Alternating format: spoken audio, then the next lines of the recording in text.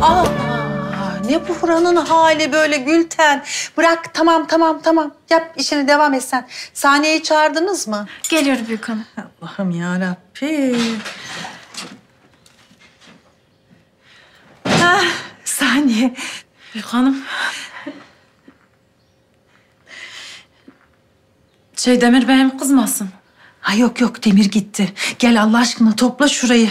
Hadi yemek yap ne olur çok özledik yemeklerini. Tamam hanım. Geç geç. Gafur dolaşmıyor ortalarda değil mi? yok yok yok yok evde şükür.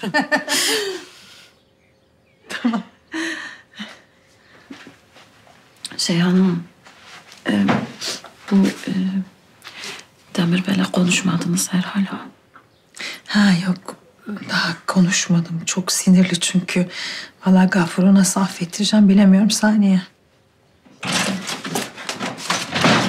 Büyük hanım, Gafur niye ortalıkta dolaşıyorsun? Ben sana dolaşma demedim mi? büyük hanım. Hurları teftişe gideyim dedim. Vallahi iyi ki de gitmişim. Yılmaz yine bir şeyler karıştırıyor. Ne yapıyor? Büyük hanım, hurlara bir tane minibüs çekmişler. Önüne bir tane de masa koymuşlar. Sözde bir hemşire, bir tane de doktor. Doktor olan da bir dil var Allah muhafaza. Ya dedim ki tamam iyi, hoş çala çocuğu burada muayene ediyorsunuz. Ama Demir Bey'ime sordunuz mu? Hiç cevap yok. O anda anladım bu Yılmaz'ın başının altından çıkmış. Ay ben de seni dinliyorum. Bir şey anlatacakmışsın gibi. Oğlum onlar Sağlık Bakanlığı'ndan gelmiştir. Yılmaz'la alakası yok. Ama büyük hanım Yok diyorum Sağlık Bakanlığı'ndan gelmiştir. Gel sen benimle bir iş vereceğim sana. Gel. Gel. Saniye Allah aşkına. Hadi giriş, giriş kızım işe. Tamam hanımım ben de. Gel dedim.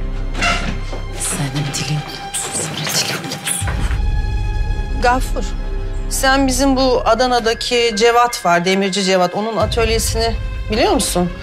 Hani Ali Dede mahallesinde, fırının arka tarafı. tam bilmiyorum da.